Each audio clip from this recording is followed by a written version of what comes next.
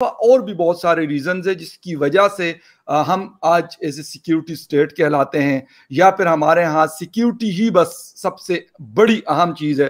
बेशक इकोनॉमी नहीं है एजुकेशन नहीं है कोई और चीज़ नहीं है लेकिन सिक्योरिटी सिक्योरिटी है। देखिए फकर भाई इसके तीन एंगल हैं। पहला तो आप सिक्योरिटी कर किसकी रहे हैं? ओके ये एक बहुत बड़ा क्वेश्चन है कि आप एक सिक्योरिटी स्टेट है। सिक्योरिटी स्टेट भी कोई पर से बहुत बुरी चीज़ नहीं होती है। सिक्योरिटी स्टेट वेलफेयर स्टेट की कल्पना में लेस पब्लिक ओरिएंटेड होती है। लेकिन आप क्या ये क्वेश्चन है कि आप किसकी सिक्योरिटी कर रहे हैं? बिल्कुल सही। आप टू नेशन थ्योरी की सिक्योरिटी कर रहे हैं आप इस्लाम की सिक्योरिटी कर रहे हैं आप पाकिस्तान की सिक्योरिटी कर रहे हैं आप किसी इंस्टीट्यूशन की सिक्योरिटी कर रहे हैं डेमोक्रेसी की सिक्योरिटी कर रहे हैं आप किसकी सिक्योरिटी कर ज़बरदस्त। ठीक है ना? ये तो आपको जानना होगा बिल्कुल सही। कि आप क्या अलग अलग लोग अलग अलग चीज़ की सिक्योरिटी कर रहे हैं। इमरान खान साहब शायद डेमोक्रेसी की सिक्योरिटी करने में लगे हैं। सो इस शहबाज शरीफ साहब आर्मी शायद टू नेशन थ्योरी की सिक्योरिटी करी है जज साहब शायद पाकिस्तान की सिक्योरिटी कर रहे हैं और जो जनता है वो शायद इस्लाम की सिक्योरिटी कर रहे हैं। तो किसी को पता नहीं है कि ये किस कम करना क्या चाहते हैं? कम करना क्या चाहते हैं? ये पता है लेकिन हम क्या नहीं करना चाहते हैं कि हम इंडियन नहीं बनना चाहते। हमारा उनसे कोई लेना देना नहीं है उसके हिसाब से हम सब करेंगे। Okay. अब आपने जिस एनालिस्ट जिन्होंने लिखा कि अब वाशिंगटन डीसी में पाकिस्तान की वो वक्त नहीं रही जो वक्त पहले हुआ करती थी उनसे मैं थोड़ा सा सहमत हूँ। जी। हुआ ये कि पाकिस्तान की जो डिमांड थी वो डिमांड कभी पूरी की ही नहीं गई। जैसे आप क्या 1965 में भी जब आपने पाकिस्तान ने जब आ, इंडिया पे हमला किया सेंक्शन लाए क्योंकि आपने डेमोक्रेसी के ऊपर हमला कर दिया था और उन वेपन्स को यूज़ करके जो कम्युनिस्ट के लिए यूज़ किए गए थे। आपकी डिमांड आप जो कर रहे थे जैसे हम लोग जब कॉन्ट्रैक्ट साइन करते हैं ना जब हम लोग बच्चों को लॉ ऑफ़ कॉन्ट्रैक्ट पढ़ाते हैं तो हम बताते हैं कि सिर्फ़ कंसेंसस की ज़रूरी नहीं है कंसेंसस एड आइटम होना चाहिए। Same thing in the same sense जब तक आप नहीं समझ रहे हैं तब तक आप कॉन्ट्रैक्ट नहीं फॉर्म कर सकते क्योंकि आप शायद कुछ और समझ रहे हो वो शायद कुछ और समझ रहा हो। आप दोनों को लग रहा है कि हम एक दूसरे को समझ रहे हैं पर वो फैक्चुअल रियलिटी होती नहीं है। ठीक है ना? So meeting of the mind is the toughest game आपके hmm. साथ यही हुआ. There was a consensual relationship between Pakistan and America but there was no meeting of mind neither the meeting of souls okay आपको हथियार चाहिए थे उनको हथियार देने थे. आप चाह रहे थे अमेरिका आपका कोई दुश्मनी नहीं था. कम्युनिज्म से आपको कोई प्रॉब्लम नहीं थी. आपको बिकॉज़ के आपने तो हेनरी किसिंजर की हेल्प करी टू टू अनलॉक दी और break the ice between America and USA आपको था कि ये हथियार हमें इंडिया के लिए यूज़ करने उनको था कि आपको कम्युनिज्म के अगेंस्ट में दे रहे थे। There was no meeting of mind there was a consensus आपकी डिमांड चेंज हुई नहीं ना तो आपकी अंडरस्टैंडिंग चेंज हुई दुनिया चेंज हो गई। आज की डेट में वो कम्युनिज्म रहा ही नहीं। तो अमेरिका आपको क्यों दे दे अमेरिका ने कभी आपको भारत से लड़ने के लिए मज़बूत किया ही नहीं था। बिल्कुल ठीक। अमेरिका से पूछे कि क्या एफ़ सिक्सटीन भारत से लड़ने के लिए दिए गए? अमेरिका से पूछ क्योंकि क्लॉज साइन होता है जब आप ऐसे बिल्कुल सही कह रहे हैं बिल्कुल सही कह रहे हैं। इतने बड़े बड़े exactly. लेते हैं तो आपको साइन करना पड़ता है कि भाई इसके आप कुछ नहीं कर सकते। बिल्कुल सही। तो आप उसमें देख लें कि आपने भारत मेंशन किया था कि हम भारत के अगेंस्ट में यूज़ करेंगे क्या अमेरिका ने अलाउ किया था आपको? सो पॉइंट ये है कि जिन्होंने ये एनालिसिस की थोड़ा सा चूक है। Okay. पाकिस्तान और अमेरिका की पाकिस्तान ने अमेरिका की डिमांड कभी पूरी नहीं की। अमेरिका की डिमांड पाकिस्तान पूरी करता रहा. रहेगा और वो करता जाएगा। अच्छा। क्योंकि आपके पास कुछ ऑप्शन है नहीं आपका एक ही है कि हमसे दोस्ती करनी है तो भारत को चोट पहुंचाओ। hmm. और कुछ नहीं चाहिए हमें आपसे। कश्मीर दिलवा दो और भारत के ऊपर सैंक्शन लगवा दो, कुछ भी करके इन, इनसे जाँच छुड़वाओ लेकिन लेकिन, मिश्रा साहब, ये आज की डेट में तो ये मैं कहता हूँ कि मुश्किल मैं इसको नहीं कहूँगा, इसको तो मैं इम्पॉसिबल कहूँगा, नामुमकिन कहूँगा कि बेशक कश्मीर इशू हो, हम उसको जो मर्ज़ी समझे बड़ा डिस्प्यूट समझे, छोटा डिस्प्यूट समझे या डिस्प्यूट ना समझे। लेकिन द थिंग इज़ कि इज़ इट पॉसिबल कि अभी ऐसा कुछ हो सकता है कि अमेरिका आज इस पोजीशन में हो कि वो इंडिया को इस तरह की कोई बात कर सके? आपको मतलब मुझे तो नहीं लगता और आप मुझे बेहतर जानते हैं इस चीज़ों को। नहीं इंडिया ने जैसे अमेरिका ये तो जो बात हो रही है देखिए आपको समझना 1948 में मैटर सिक्योरिटी काउंसिल में गया यूनाइटेड नेशन में। तो ये मल्टीलेटरल मैटर बना चैप्टर सिक्स में रिजोल्यूशन पास हुई अमेरिका का रोल बनता नहीं था क्योंकि जो भी होना था सिक्योरिटी काउंसिल में होना था। उन्नीस सौ इकहत्तर के बाद लॉ चेंज हुआ क्योंकि आपने सिमला एग्रीमेंट साइन किया उसमें इस मैटर को यूनाइटेड नेशन से बाहर निकाल के बायोलेटरल कर दिया गया कि अब ये हिंदुस्तान और पाकिस्तान का मसला है आपस में सुलझाएँगे। तो अब आप बताइए कि अमेरिका ने किस समय पे ये बात जो हम्म। जो लीगल पोजीशन से उससे वो हटा? वो कश्मीर पे कभी भी आपकी हेल्प के लिए सामने नहीं आया था। वो कहता था कि दोनों पार्टी अग्रीड हो तो हम कर सकते हैं। और ये सिचुएशन तो 1971 के बाद ही शुरू होगी क्योंकि 1971 से पहले ये मैटर टेक्निकली मल्टीलेटरल था यूनाइटेड नेशन में था। यूएन का ऑर्गेनाइजेशन है। अब अगर आप यूनाइटेड नेशन का आर्टिकल 103 पढ़े मैं उतना लीगल में नहीं जाना चाहता। मैं आपसे सिर्फ़ इतना कहूँगा कि अमेरिका ने अपने पत्ते हिंदुस्तान के साथ आपको वो यूज़ इसलिए थोड़ी बहुत जो उसने एक जिसे कह लीजिए आपको एल्बो रूम दे दिया था वो इसलिए क्योंकि you are to some extent useful for the fight against communism और बाद में आपने वो यूजफुलनेस दिखाई to fight against Russian invasion in Afghanistan. उसके अलावा आपने कब अमेरिका से स्ट्रेटेजिक कोई टाई अप किया हो? हम्म। या कोई आपने कॉम्प्रिहेंसिव वो टाई अप किया हो? आपका ट्रांजैक्शनल रिलेशनशिप था ये हो जाएगा तो ये कर देंगे आप ऐसा कर दोगे तो हम ऐसा कर देंगे। अच्छा मिश्रा साहब ऐसा हो सकता था अगर हमारी एक डायरेक्शन सही होती लेट सपोज़ जिस तरीके से आप लोगों ने किया आप लोग सोवियत यूनियन ब्लॉक तो मैं नहीं कहूँगा लेकिन उनके साथ रिलेशनशिप की अगर बात की जाए तो बहुत हाई लेवल पे रही अभी भी है आप लोगों ने अभी आ, कुछ अरसा पहले एस फोर हंड्रेड सिस्टम उनसे लिया और इस तरह की बहुत सारी चीज़ें हैं कि आप लोग आज भी उनसे खरीदते हैं। तो ऐसा पॉसिबल था मतलब पाकिस्तान के पास बहुत ऑप्शन थी कि पाकिस्तान अगर एक प्रॉपर डायरेक्शन में जाता, अपने फैसले इस्लामाबाद, वाशिंगटन की वजह इस्लामाबाद में करता तो शायद ये सिचुएशन जो आज हम बात कर रहे हैं और जो कह रहे हैं कि यार मतलब पाकिस्तान है नो ऑप्शन तो ये ना होता। बहुत अच्छा क्वेश्चन पूछा ये क्वेश्चन बड़ा डीप है। देखिए फखर भाई आप फैसले कैसे लेते हैं? जी। फैसले लेने के लिए टू फॉर्म एन ओपिनियन और to make a decision you need information आपको खुद को जानना चाहिए था कि हम ये फैसला क्यों लेना चाहते हैं और क्या ऑब्जेक्टिव है इस फैसले का। बिल्कुल पाकिस्तान के पास ये कभी भी क्लैरिटी नहीं थी। पाकिस्तान को ये पता था कि हमें जो मेरी प्रायोरिटी है टॉप मोस्ट नेशनल प्रायोरिटी और इसी के आधार हमें सोसाइटी का भी निर्माण करना है। हम्म। वो है कश्मीर पे इंडिया को बाहर निकालना है और हमें एक इस्लामिक राष्ट्र से अपनी आइडेंटिटी से जान छुड़वानी okay. यही दो ऑब्जेक्टिव यही नेता भी जो कि जो बच्चे पढ़ रहे थे स्कूल में वही तो आपके लीडर बनेंगे ना। बिल्कुल वो यही वही आपके ब्यूरोक्रेट बनेंगे वही आपके ऑफिसर्स बनेंगे वही बनेंगे। तो इन आप क्या की प्रॉब्लम ये थी कि you you had power to take decisions but you had no idea why the decision on what ground the decisions information क्या लेनी है समाज का क्या सिम्त ले जाना है पचास साल बाद समाज कहाँ जाएगा बीस साल बाद समाज कहाँ जाएगा क्योंकि आप अपने आप को जड़ से तो उखाड़ दिए। आपको ये नहीं पता था कि अब ये पौधा जो हमने अपने जड़ों से उखाड़ा है इसको कहाँ लगाए जाके? इस पौधे का इस पौधे का हमें करना क्या बिल्कुल तो आपने जो भी डिसीज़न लिए वो इसी को एक ही वर्ड है वो ट्रांजैक्शनल थे वो जिसे कह लीजिए सुपरफिशियल थे इंस्टेंटेनियस थे कि अभी कर लो। हम्म, अगर वक्ती तौर पे। हाँ जिसे कह नी जर्क रिएक्शन अभी कर लो ये हो जाएगा बाकी बाद में देखेंगे। ये शुरू से होता है। कल क्या होना? कल क्या होना है? बस इतनी मैनेजमेंट एक से दो दिन की ही विजन थी।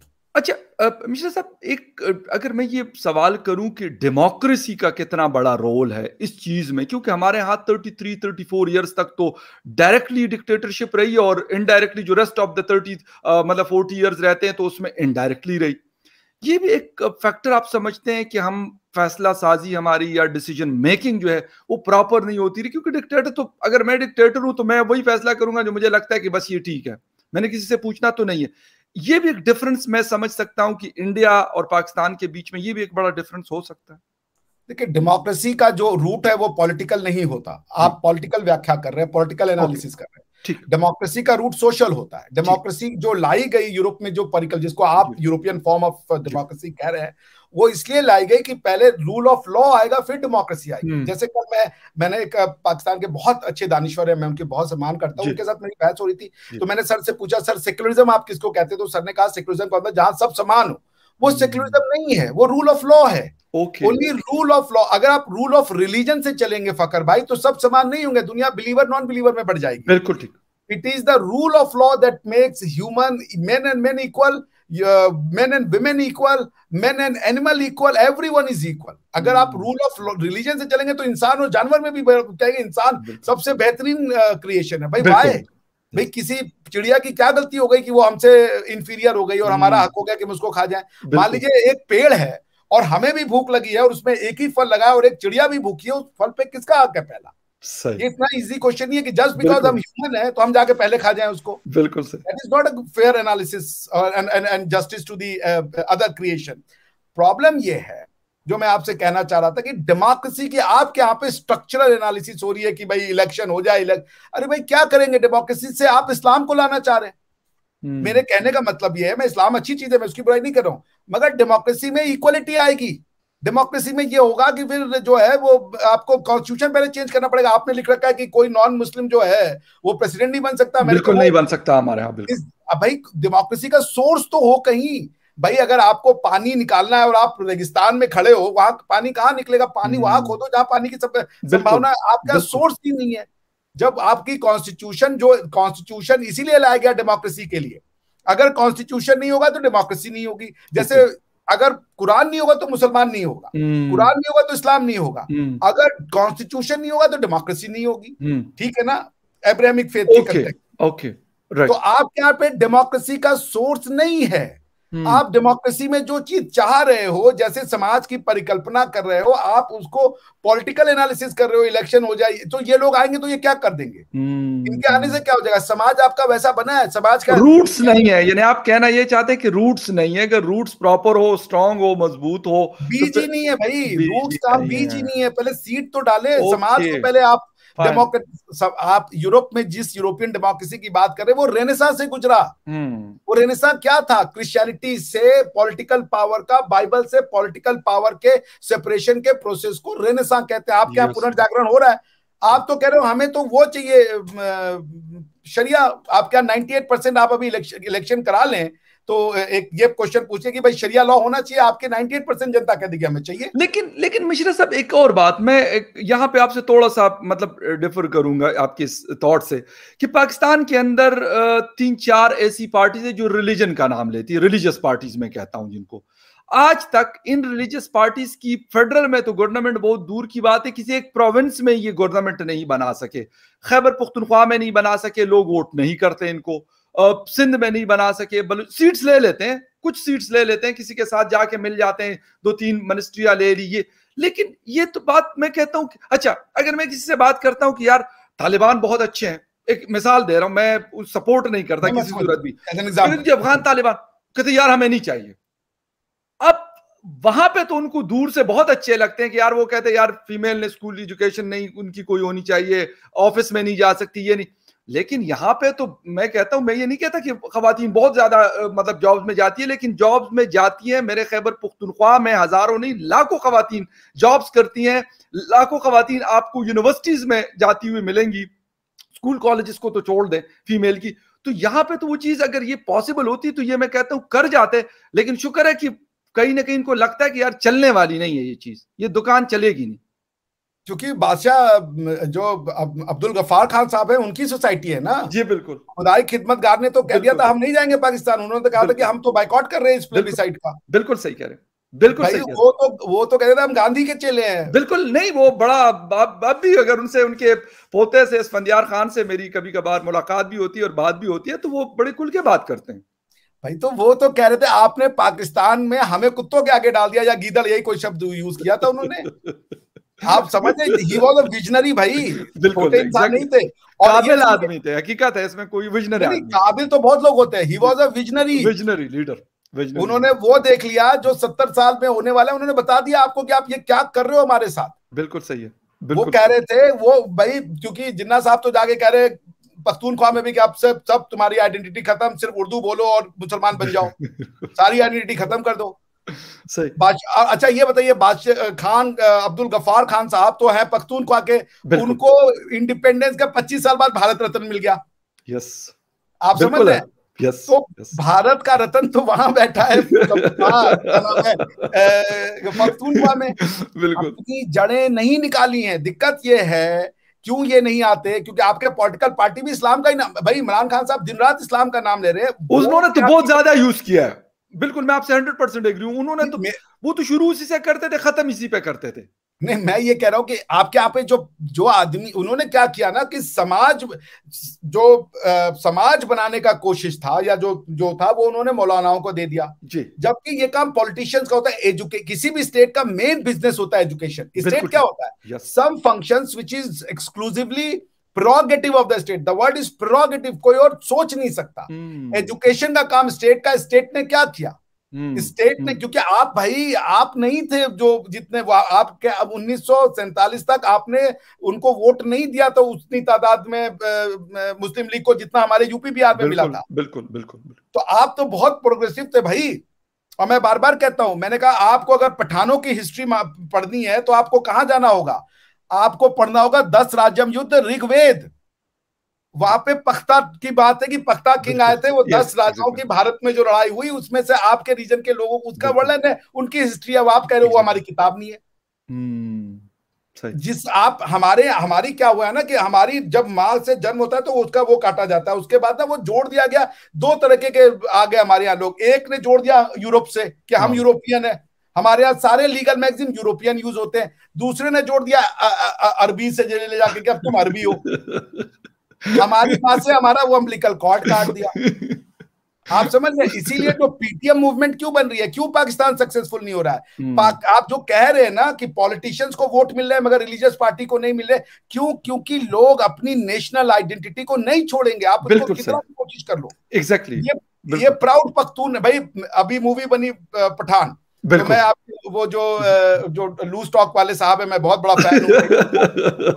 जो भी अनवर मकसूद साहब है जो भी बड़े क्लास के आदमी बिल्कुल बिल्कुल। दोनों लोग का मुझे मैं कई बार उनके जो वो खासकर दो तीन वो है ना कि अबे इधर उधर निकल जाता हूँ उसका वो नहीं मान मतलब भाई class apart that's called real वो एक वो एक वो क्लिप मैं आपके साथ शेयर करूँगा जिसमें वो कहते हैं कि उनको कॉल आती है कि जी कहते हैं अनवर मकसूद साहब कहते हैं जी पाकिस्तान एक आज़ाद मुल्क है। तो फ़ोन हाँ, उठाते हैं और सबको फ़ोन करते हैं। हाँ, कहते कहते वो अपनी बीवी को कहते हैं कहते हैं सुल्ताना आपको पता है पाकिस्तान एक आज़ाद मुल्क है। और जब फिर अपने नौकर को करते हैं फिर अपने फ्रेंड्स को करते हैं।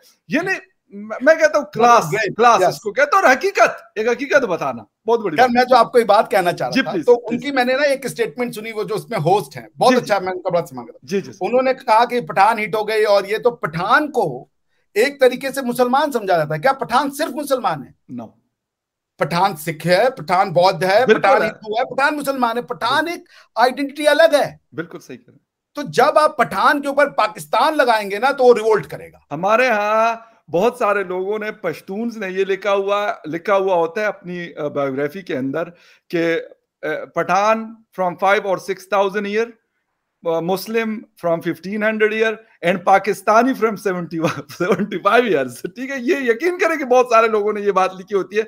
और जब हम छोटे थे, जब मैं इस्लामाबाद आया था I was school going boy तो यहाँ पे एक बात मशहूर थी यहाँ के लोग, क्योंकि मुझे ये चीज़ समझ नहीं आती थी। हम तो बस अपने वो इलाके में रहते थे और वो सारा तो यहाँ पे वो कहते थे जी आप मुसलमान है कि पठान है? बाय गॉड मैं मतलब मुझे उस इस चीज़ की मुझे उस वक्त समझ नहीं आती थी स्कूल में मुझे क्या पता मैं उनको कहते नहीं मैं पठान हूँ। और वो हँसते थे इस बात के ऊपर कि यार ये कहता लेकिन ये मैं कहता था कि यार वाकई ऐसा ही है कि हम पहले पठान है मुसलमान तो हम बाद में होंगे वो तो जब अच्छा, मेरे अब ये जिन साहब ने लिखा मैं उनसे एक प्रश्न ज़रूर पूछूँगा जी जी। कि for 5000 years Pathan for for 1400 years muslim yeah. and for 75 years pakistan, pakistan. But what is pakistan yeah. Pakistan का मतलब क्या तो जो आदमी ऑलरेडी मुस्लिम है पाकिस्तान के डेफिनेशन से वो बाय डेफिनेशन तो भाई जो मुसलमान है उसको दोबारा तुम कैसे मुसलमान बनाओगे सही पाकिस्तानी बनने का मतलब मुसलमान ही बनना। सही। ये प्रॉब्लम लोग जब आप थ्योरी में जाएँगे एनालाइज करेंगे यही प्रॉब्लम हो रही है। भाई जो ऑलरेडी अपनी पख्तून और मुस्लिम आइडेंटिटी से वो नहीं कॉन्फ्लिक्ट कर रहा है। हम्म। अब उसके बाद दोबारा जाके तुम उसको कंफ्यूज करो कि तुम पाकिस्तानी भी बनो। बिल्कुल। क्योंकि वो हो चुका है। उसने कह दिया कि मैं पख्तून था मैं मुसलमान भी हूँ लेकिन अब तुम मुझे दोबारा मुसलमान बनाने आ गए। वो कह रहे हो तुम पॉलिटिकल मुसलमान बिल्कुल एग्जैक्टली तो भाई, अगर या तो अगर आपने कह दिया कि मैं मुसलमान हो चुका हूँ तो और पाकिस्तान का मतलब ला इल्लल्लाह। तो फिर जो आदमी हम्म। कही रहा है ला इला इला तो उससे दोबारा तुम क्या बोलवाना दोबारा क्यों कर रहे हैं? बिल्कुल सही है बिल्कुल सही है। उसको कैसे पाकिस्तानी बनाओगे? वो है अगर तुम्हारी डेफिनेशन है कि मुसलमान बनने से कोई पठान मुसलमान बन जाए और वो पाकिस्तानी है तो हर पठान हम्म। जो मुसलमान है वो पाकिस्तानी और हर वो पठान जो मुसलमान है फिर पाकिस्तानी नहीं है। सही सही बिल्कुल सही बड़ी ज़बरदस्त बात है। अच्छा मीरा साहब एक आकर में एक क्वेश्चन और वो ये कि यूएस विज़िट क्योंकि हमने उसके ऊपर शोज़ भी काफ़ी सारी किए सारा कुछ हुआ खत्म हुआ। एक जॉइंट स्टेटमेंट आता है, उसके पाकिस्तान एक रिएक्शन भी देता है कि जी, अमेरिका को इस तरह नहीं करना चाहिए था, हिंदुस्तान के साथ मिलकर ये वो। लेकिन एक, मुझे सिर्फ़ एक सवाल ये करना है कि इन फ्यूचर इस रीजन में, पाकिस्तान वर्सेस इंडिया हो चाइना वर्सेस इंडिया हो, या चाइना वर्सेस यूएस हो क्या चीज़ आपको नज़र आ रही है कि ऐसा कुछ हो सकता है? या नहीं? मतलब एक दूसरे के साथ ठीक है पार्टनरशिप चल रही है एक दूसरे के साथ जो भी अलायंस आप कह दें या कुछ भी कह दें वो चल रहा है लेकिन ऐसा कुछ नहीं है कि इस रीजन के अंदर कोई इंस्टेबिलिटी आ सकती है। देखिए ये जमाना कम्युनिस्ट कम्युनिटी आइडेंटिटी से दूर इंडिविजुअल आइडेंटिटी पे जा चुका है। लोग अपने अपने जीवन को महत्व देते हैं। कोई तो जो आपने तीन पॉसिबिलिटी दी है India versus Pakistan India versus China China versus America match को ऐसे नहीं देखता। Okay. मेरे हिसाब से ये होगा China versus China Pakistan versus Pakistan क्या आप okay. अपने लोगों को दबा के रखोगे? चाइना में डेमोक्रेसी की भेड़ उठेगी? क्यों एक पॉलिटिकल सिस्टम से गवर्न हो? क्या दे दिया तुमने हम लोगों को ये? अब जो गलती होती है तुम बताते नहीं हो। न्यूज़ तुम्हारे अब क्या ये बड़ी बड़ी बिल्डिंगे करने से डेवलपमेंट होता है? इंसान को सोचने से डेवलपमेंट हो पाएगा? तुमने इंसान को इंसान की सोच पे जो भी पॉलिटिकल लगाई है। हाँ जो भी